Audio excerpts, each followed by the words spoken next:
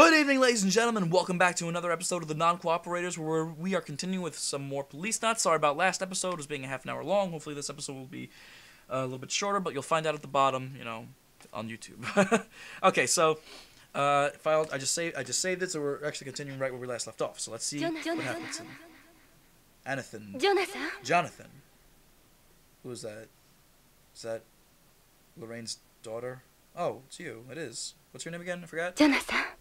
ジョナサン起きた Jonathan. ここは私の家よどう気分はあなた12時間も寝てたのよ俺は一体今何時だあれ時計がないああ腕時計ね、あれ、電磁手錠に干渉したらしくて止まってたわ。そうか。壊れたか。で、どうして俺はここに？そうだ。俺は奴らにはめられて逮捕されたんだ。そうよ。BCP からホームの警察に送還されるところだったの。それがどうして？エドと BBC のスタッフと協力して脱獄させたの。あなたを取材中にテレビ中継車と護送車が高速で事故ったことになってるの。脱獄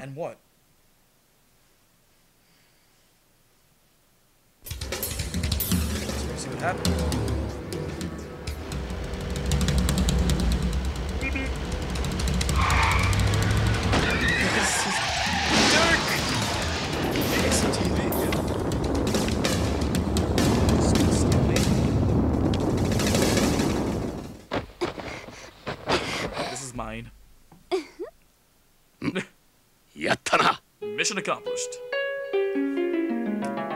So basically, now they're definitely gonna get arrested by the uh, the police if they uh, find out what she did now. Oh, well, thank you.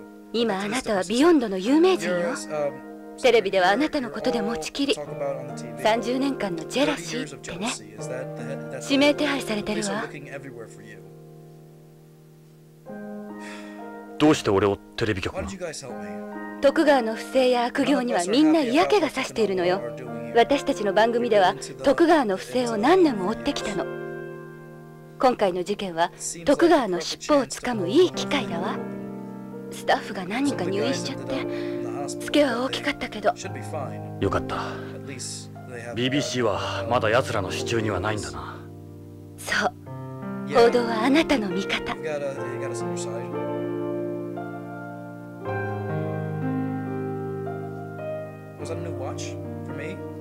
よいしょっと大丈夫、ジョナサン。エドから連絡あるまでゆっくりして。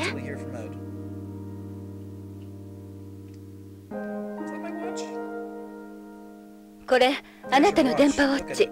ひどいでしょすっかり止まっているな。もともと80年も前の時計だし、車で逆さになったり、酷使したからな。直せないかしら？難しいだろうな。ご当品だから。局の小道具さんに頼んでみましょうか。もしかしたら。いやもう思い出をたどる必要はなくなった。俺とロレインもこれで。そう。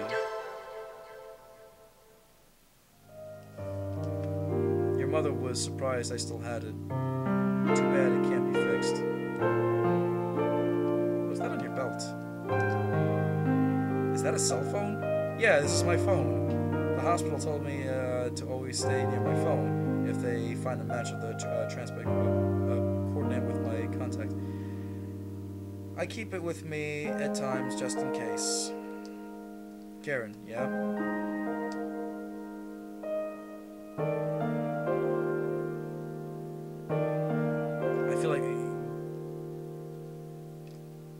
open up. 彼。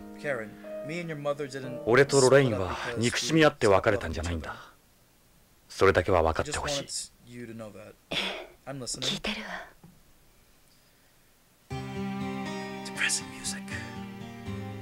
ロレインは警察官という危険な仕事にずっと否定的だった。不規則な生活。いつ帰るともしれん夫の心配をしながらいつも彼女は一人だった。そのうちロレインはノイローゼになり二度も自殺未遂。知らなかった。俺は彼女との生活を優先するためポリスノーツに志願した。当時はまさか選抜されるなんて夢にも思っていなかった。訓練期間中はヒューストンで幸せな1年間を送ったあの頃は夢のようだった。それがあの火星行きだ。彼女は俺を待ち続け地球に戻った時にはもう俺たちの関係はどうして火星なんかに？ロレインから逃げたかったのかもしれない。彼女の愛情が重くなった。ひどい人ねジョナサンビヨンド行きが確定した時彼女は俺から去っていった初めて彼女はさよならを言ってなんとなくわかるわ母の気持ちが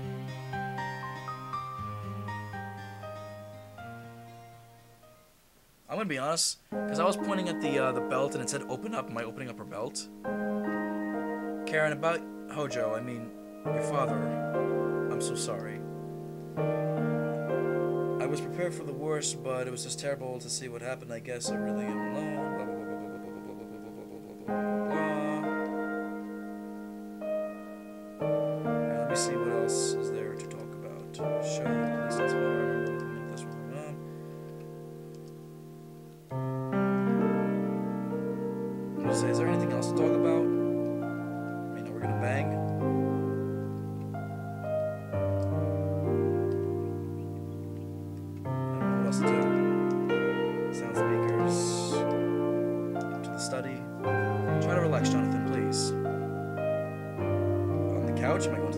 relax? Like, what do I do? Where do I go?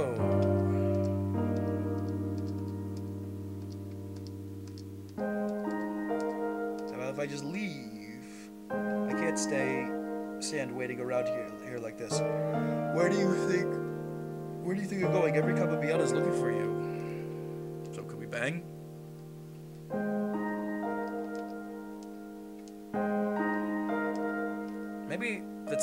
See what the TV. Let's see what the see. I don't know if you want to sit down for this.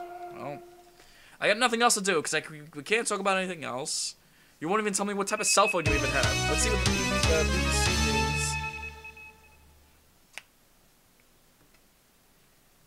I mean, my screen's right here, and my other screen's right here. The camera's right there, and there she is, Karen Hojo, the CGI.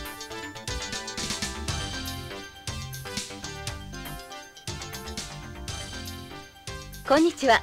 ニュースオーダーの時間です。So like. 繰り返します。本本日未明連続殺人の容疑でホームへ強制送還されることになっていたジョナサン・イングラム容疑者を乗せた護送車が宇宙港へ向かう途中。BBC のテレビ中継車との接触事故により爆発炎上乗っていたイングラム容疑者は現在もなお逃走中指名手配されております。この事故で BCP、BBC 局員数名が軽傷を負い宇宙港線の上り車線は通行止めとなっております。また事件の重要参考人であるエド・ブラウン氏も消息を絶っており BCP では彼の行方を追っております。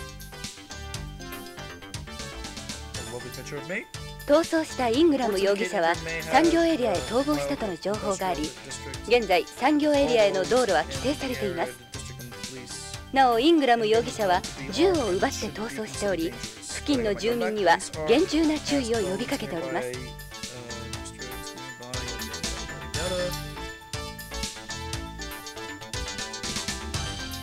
各検問所では BCP の指示に従ってください。容疑者ジョナサン・イングラムは元ポリスノーツとして BCP の基盤を築いたオリジナルコップとして知られ今回の事件は関係者に大きなショックを与えています。それでは BCP 本部長のゲイツ・ベッカー氏の共同記者会見の模様をご覧ください。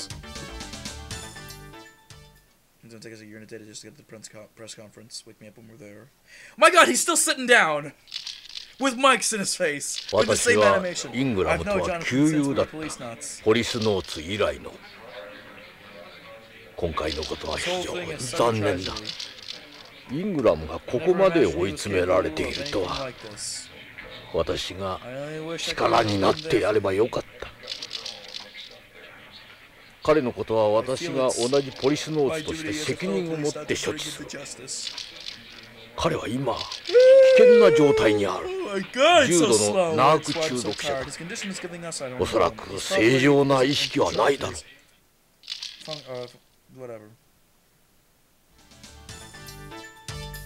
BCP の記者クラブからの中継でした。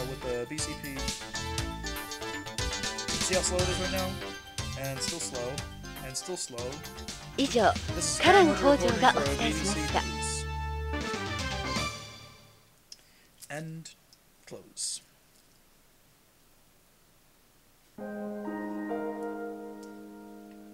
くそゲイツめ。好き勝手に言ってやがる。俺も CG? そうよ。Uh, CG 合成の偽物。私のアリバイを細工するために音声もバックも映像もみんな合成よ。私であって私じゃないの。誰も気づかないでしょうね。ニュースそのものもでっち上げだしな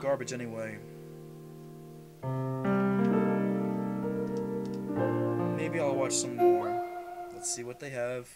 Cartoons? There's nothing else for me to watch or do anything. See, I don't like watching the news because it just takes too goddamn long. Oh 繰 wait. り返します.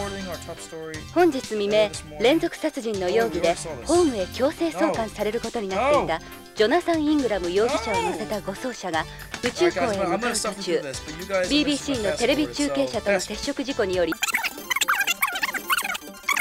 On 局 second に数 thought, 名 you が know what 軽 I'm 傷を actually 負い gonna do? I'm actually 宇 gonna 宙 have to end 港 the 線 episode の right here, 車 right 線 now because I really don't know what I'm gonna do. I'm gonna ま stop た事件の重要参考人であ going. るエド・ブラウン.氏も消息を on 絶っており we're BCP. では彼の行.方を追っております